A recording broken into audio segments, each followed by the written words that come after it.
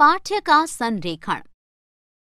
अधिकांशतः पेज के बाएँ हाशिए से पाठ्य का संरेखण किया जाता है।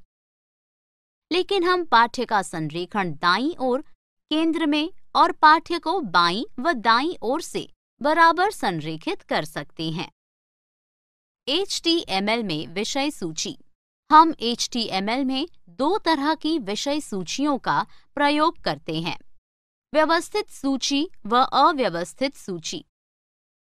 व्यवस्थित सूची। इस सूची को क्रमवार सूची भी कहा जाता है। यह मदों को क्रमवार सूची में दिखने में सहायता करती है।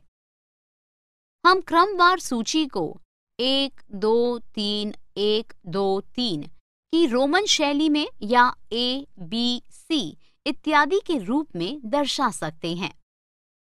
ओ एल टैग एक कंटेनर टैग है। इसके समापन की आवश्यकता होती है।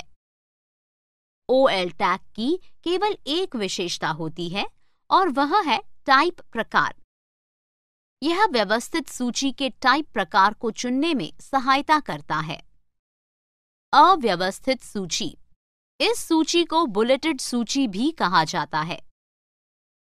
इसका उपयोग मदों को बुलेट के रूप में दर्शाने के लिए किया जाता है।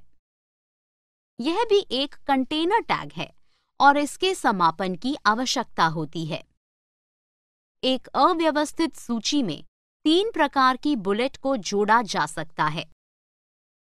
इस सूची की भी एक विशेषता है, वह है टाइप, जो बुलेट के टाइप प्रकार को चुनने में सहायता करता है।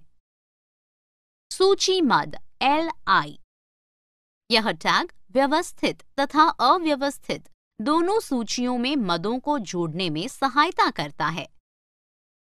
यह एक कंटेनर टैग नहीं है, इसलिए चाहे हम इसे समाप्त नहीं करते तो भी हमारा प्रोग्राम चल सकता है।